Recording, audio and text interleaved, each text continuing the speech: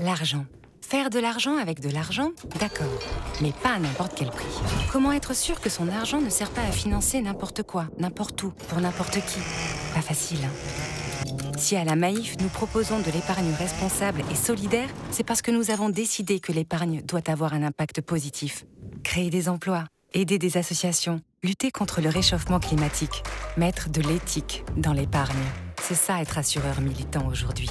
Maïf, assureur militant.